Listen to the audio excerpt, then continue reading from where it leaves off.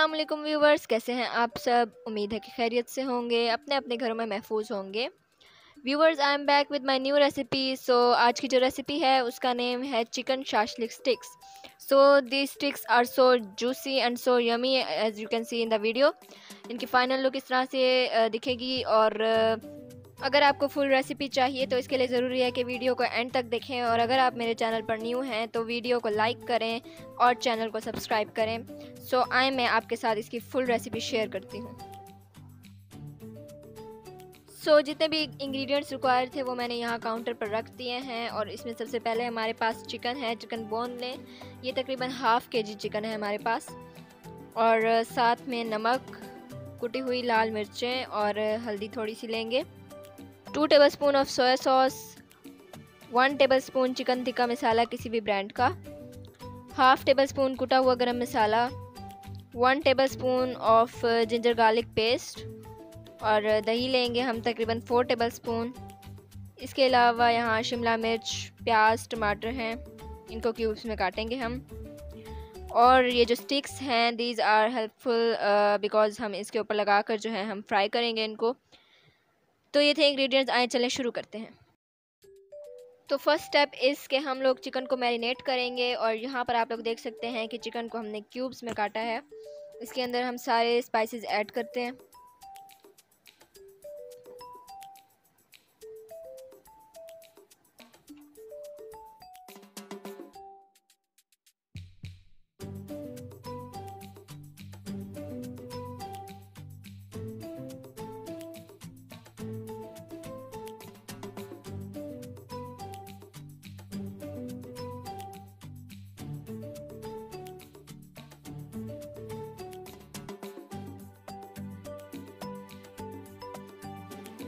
सो spices add करने के बाद इसको थोड़ी देर मैरिनेट होने के लिए रख देंगे, जब तक हम अपनी वेजिटेबल्स को कट करेंगे।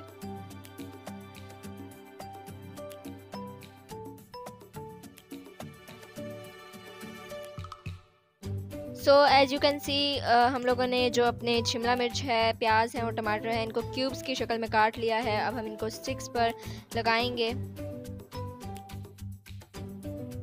वीडियो को एंड तक देखें। ये बहुत ही मज़े की रेसिपी है और बहुत ही इजी झटपट रेसिपी है। इसको ज़रूर मिस मत कीजिएगा। इतने खट्टे खट्टे मज़े के बनेंगे। सो so, स्टिक्स पर हम लोग सबसे पहले इसी तरह से चिकन लगाएँगे। उसके बाद ये शिमला मिर्च लगाएँ। सेम जैसे मम्मा कर रही हैं वैसे ये प्याज लगाएँगे उसके बाद टमाटर। फिर चिकन लगाएँ और उसके बाद दोबारा से वेजिटेबल्स लगाएँ और इसी तरह से जितनी आपको चाहिए उतनी स्टिक्स आप लोग तैयार कर लें।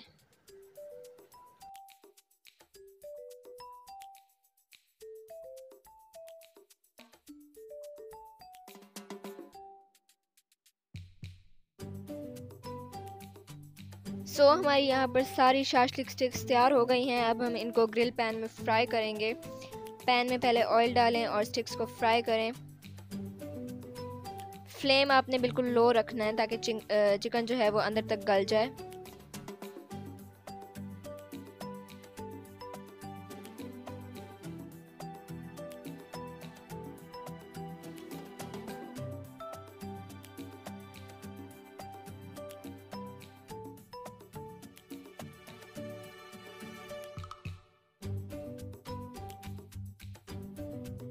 ये देखें, जी, हमारे मज़ेदार सी स्टिक्स तैयार हो रही हैं और इसको हर थोड़ी देर बाद टर्न करें ताकि अच्छे से जो है चिकन वो अंदर तक गल जाए। ये देखें, जी, कितना अच्छा सा कलर आ गया है इसका गोल्डन गोल्डन सा और ये बहुत ही मज़ेदार सी खुशबू है इसकी हर जगह और इतने मज़ेदार सी स्टिक्स तैयार हो रही हैं। अगर आप वीडियो देख रहे हैं तो ज़रूर इसको ट्राई कीजिएगा क्योंकि इतने मज़ेदार सी हैं ये। और आपको भी ज़रूर पसंद आएँगी। सो so, यहाँ हमारी स्टिक्स तैयार हो गई हैं बहुत ही मज़े की। होपफुली आप लोगों को रेसिपी भी बहुत अच्छी लगी होगी इसकी और इतनी इजी सी है। मुझे उम्मीद है कि आप लोगों को पसंद आया होगा मेरा वीलॉग और बाकी वीलॉग्स को भी इसी तरह से लाइक करें। और ये वाला वीलॉग ज़रूर ट्राई कीजिएगा इसमें जो रेसिपी आप लोगों को सिखाई है बहुत ही इजी सी रेसिपी है और बहुत ही मज़ेदार सी बनती है इतनी जूसी सी ये चिकन बनती है। आप लोग ज़रूर ट्राई कीजिएगा और हम लोगों को फ़ीडबैक देना मत भूलिएगा। मेरे चैनल को ज़रूर सब्सक्राइब करें और बेल आइकन को भी ज़रूर प्रेस करें। चलती हूँ अपने वीलॉग के साथ। मुझे दीजिए इजाज़त। अल्लाह हाफिज़।